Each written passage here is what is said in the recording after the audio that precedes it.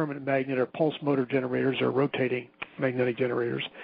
And finally, devices that use uh, what is sometimes called uh, countergravity, electrogravitic uh, devices that use those phenomena of anti-gravity to uh, produce generators in addition to the anti-gravity thing. So those are four areas uh, that we see are highly likely because people have already been successful in these areas to a certain extent.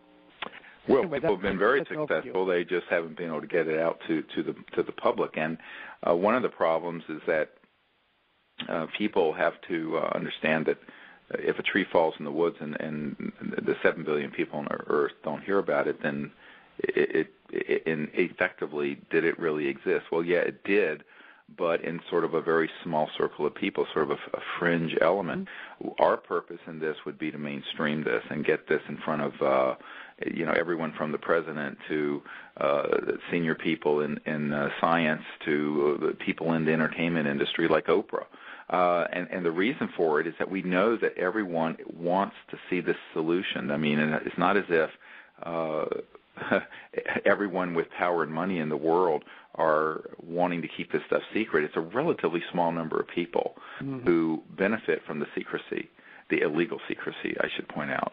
Um, and therefore, we have a lot of allies, but they want to see something operational. Now, it's a bit of a chicken egg thing because a lot of people, before they get involved, want to see something already built. But in order to get something built, you need the funding to be able to put these people who've worked previously on these systems, some of them in classified projects, together and build them. So it is a chicken egg problem.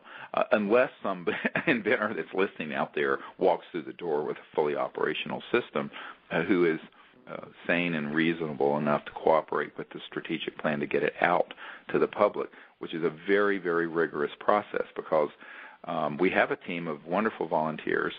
Uh, up to this date, I have to point out that 100% of the funds that people have contributed to the OrionProject.org have gone to actually help study this issue and uh, to to the work. No one has received a salary. In other words, Dr. Loder and Dr. Uh, Bravo and myself.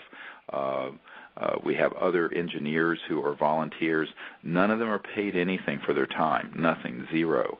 But they're out of pocket mm-hmm. expenses, obviously. But if you, you, what we what we want to be able to do and uh, is to say that these folks are standing ready. They're really on call 24/7. If there is some system that exists already that needs to be properly evaluated, tested, and then reproduced, because you know, you, if you can't reproduce it, you can't say it's a science. If somebody has something operational and uh, another scientific team can't reproduce that effect, it isn't science, my friends.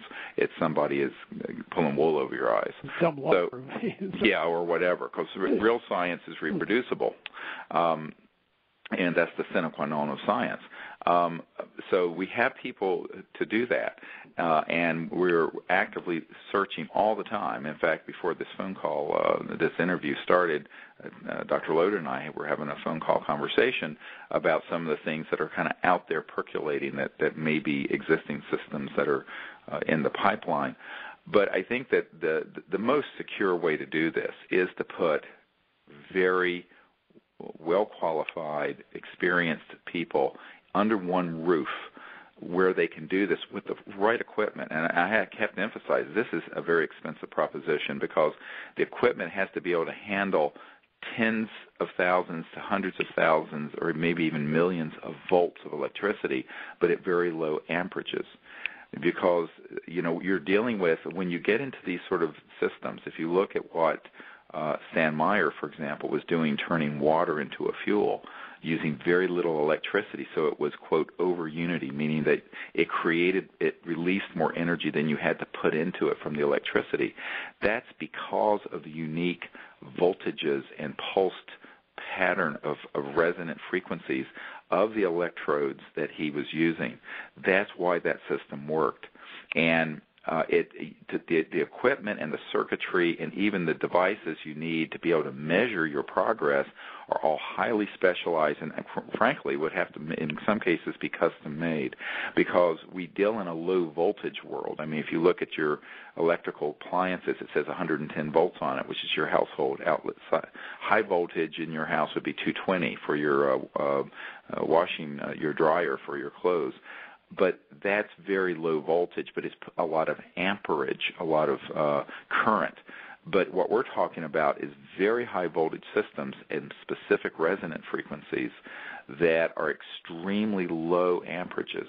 And so you're using very little power, but the voltages are high. And the, it, so you're using very little power, but it's tapping into and this is this is the, the the overarching theory I want everyone to visualize, whether you're doing it in water or an electromagnetic generator or, or permanent magnets.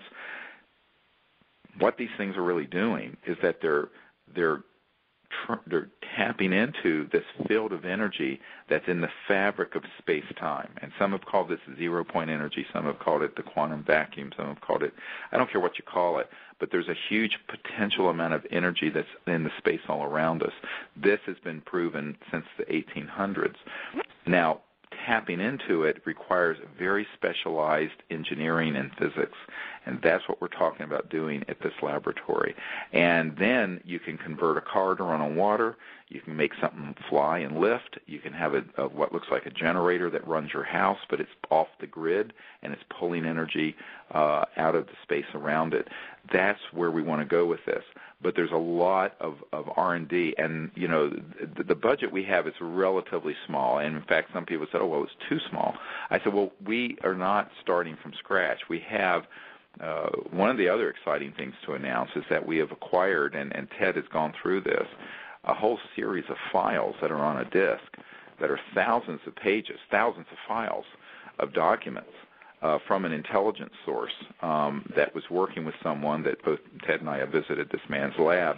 And this particular man, who we, who we don't want to name, was being recruited by the intelligence com- community, and, and, and his handler said, "Look, you know, as a show, show of good faith, I'll let you copy all these files I have on all these secret devices." And so he did and now we have them. I mean, that's a, it's a very long story made short, but that's what it is. And we have all this on a on a on a CD now. Mhm.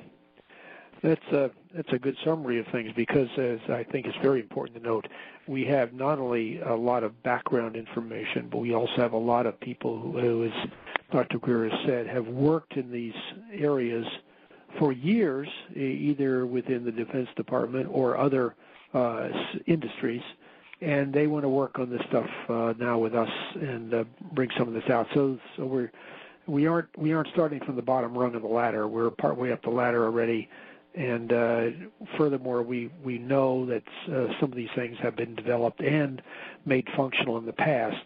And knowing something is possible uh, in some cases is half the battle toward getting there. Uh, knowing that it can be done. Absolutely. Uh, it, it, it's one of these things that's uh, if you understand the principles and you have people experienced in that art, which is who we're talking about, the, the people who have agreed and want to work with us on this, then you're not talking about starting from scratch because there's a hundred years of of work that's already been done. It's it's a much shorter pathway, and that is what exactly what needs to happen at the same time that you're putting the strategic team together, which we've done, to get this out to the world because uh, you know this year I've been invited to some events uh, that are that are at the, the the Sundance Film Festival. Well, if I had an operational device, I'd be able to say, look, you know, here here it is, and you know, I just walk right up to Oprah or whoever. So I think that what we want to be able to do is is get to the point where we can put this in the network that we've built and say, look, this is not only theoretical, it is operational. So either we have to find someone who has one that hasn't already been snarfed up by the national security state abuse of power, or we have to do it ourselves. And then when the national security state comes a calling, they know not to come to calling on me because I've already gone through this. I mean, I was approached. I mean, to give people a short hit course in the history of the last 20 years, in 1992, the head of Army intelligence offered me uh, $2 billion to shut up, and I wouldn't take it. And then he went to my wife and all kinds of flattery and chicanery, trying to convince her that I should fold what I was doing and merge with some shadowy operation that he was working on. And and I finally said, I'm not going to do it. And this is 18, 19 years ago now. And basically, within 30 days of that, my name was mud, and there's been nonstop defamation of character and attacks on me all over the internet. But the point is, that is the kind of things they will try, and the average person is not going to say no to a two billion dollar buyout offer. In fact, it takes a lot less than that. Okay, yeah, we found that it for some people it takes a few hundred thousand. Depends on the person. He he knew that, but this, but I said no, I'm not interested. So you know, in other words, it's like when you go to a, a, an art show and it says "not for sale" on it. I'm not for sale. The knowledge that needs to come out to save the world from this crazy trajectory we're on isn't for sale to some devil who happens to have control of the printing presses or is running drug money or whatever it is the hell they're doing. My position is I'm not for sale, and the national security state can go bite its own ass. I'm not going to bite mine because my view of it is that I recognize that these people don't have any legal authority, and I'm not interested in money. I'm not interested in their power. None of that impresses me. I'm totally unimpressed by power and money. And people who are very rich who come clucking up to me who think that I'm going to be genuflecting and sit, kissing their feet, they've got the biggest shock of their life coming. I'll tell you that right now. Um, and same thing with these powerful, uh, some of these intelligence and military people who thought that I'd be wowed by it. I, nothing, that doesn't impress me. Moral courage impresses me going the distance impresses me. Integrity impresses me. These values impress me a great deal. I don't care if you're you know the, you know picking up someone's trash or you're the yard man or whatever you know people who do wonderful things for other people that impresses me. Having billions of dollars not impressive. Having a lot of power that you've acquired through some kind of trick and chicanery ruthlessness doesn't impress me. Uh, but doing something wonderful for your fellow human beings that's impressive. That's wonderful. So, you know, when this the, the head of Army intelligence came up, I mean, I was just completely unimpressed, to say the least. Um, a bit appalled that at the figure that he was throwing around. I had no doubt he had access to it. And by the way, two billion dollars in 1992 would be like whatever five billion today. Mm. But um, anyway, it was a lot of money, and I, I wasn't interested. But the problem is, and this is this is the problem, is that most politicians, businessmen, and I hate to say it, inventors who are approached by these kind of devils are going to sell out. And I think that we have to, the team we have are the people who aren't the sellouts. I don't know how else to say it. Because we're doing this because we know it's time for the world to move on to a new path where we can become a sustainable, peaceful civilization where in a generation, with these technologies, poverty would vanish from the earth. You know, people who are concerned about all the starvation in Africa and India and all the things going on, you are not going to fix it with throwing a few more billion dollars at it. You have to fundamentally change the way we're living on Earth so that people have the ability to irrigate, grow crops, have refrigeration, electrification, uh, clean water uh, with free energy. And then that's the big, huge game changer. But you know what? in the circles in the intelligence communities, this kind of technology, they have a name for it, disruptive technologies. Mm-hmm. They call instead of I look at them as as, as life saving, earth saving, transformative technologies. They call them disruptive. disruptive. You know, and it just shows you where their mindset is. They don't want to rock the boat. But you know what? The the, the era of the Vanderbilts and the Rockefellers, they didn't want to rock the boat either with the Tesla stuff, and here we are 100 years later with the world in the state it's in, and they don't want to rock the boat now. At a certain point, you're just going to have to rock it, honey, and and deal with it. You know, it's like you're going to have to just deal with it, because otherwise we're headed towards a denouement that isn't going to be pretty.